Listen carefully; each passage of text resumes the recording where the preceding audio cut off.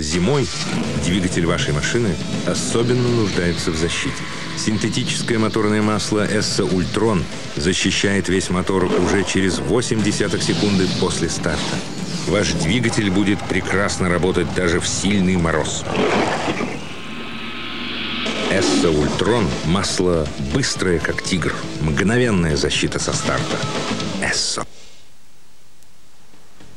Конец года ознаменовался поистине историческим событием. Германский концерн Bayerische Моторверки дебютировал в классе внедорожников. К слову, менее года назад мы уже рассказывали об этой разработке BMW. Сегодня же мы одними из первых имеем возможность показать вам это творение германских автостроителей, именуемое X5. К большому сожалению, мы вынуждены ограничиться лишь простым описанием автомобиля, ведь технических его деталей компания до сих пор не распространила. Однако уже сейчас можно сказать, что конструктивных особенностей в новинке будет не так уж и много. Одна из причин тому – активное участие в разработке машины специалистов, входящей в состав BMW английской группы Rover. Качество внедорожников марки Land Rover сомнению никем не подвергается, и не мудрствуя лукаво, инженеры концерна решили перенести достоинство Land Rover в X5, тем самым лишив его самобытности. Впрочем, внешне этот автомобиль вовсе не напоминает английские джипы. При первом же взгляде на новинку вы определите, что перед вами именно BMW. К слову, наименование новорожденного внедорожника X5 означает, что он будет базироваться на платформе пятой серии BMW.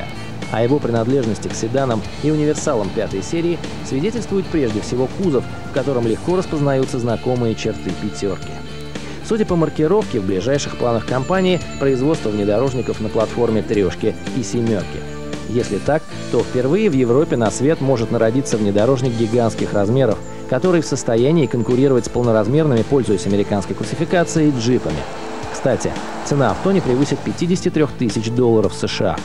Этими машинами BMW попытается выбить почву из-под ног главного конкурента Мерседеса, который опередил мюнхенских автомобилестроителей более чем на год, выбросив на рынок М-класс. Впрочем, несмотря на амбиции относительно внедорожников, и во Франкфурте, и в Мюнхене приняли решение доверить производство своих джипов американцам, давно уже как сроднившимся с автомобилями этого класса.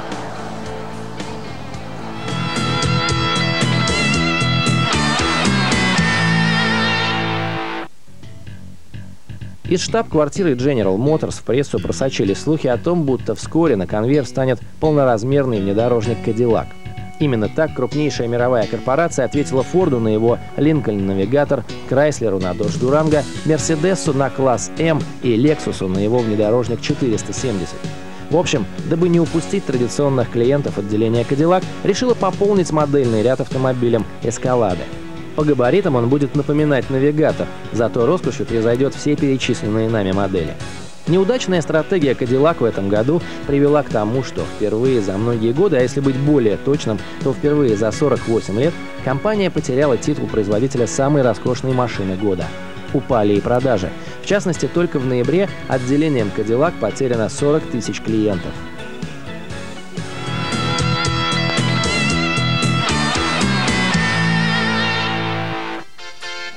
Не прошло и полугода после того, как Mercedes презентовал в Париже новинку, стоящую на вершине его модельного ряда класс S. И вот на базе этого шикарного седана было создано двухдверное купе.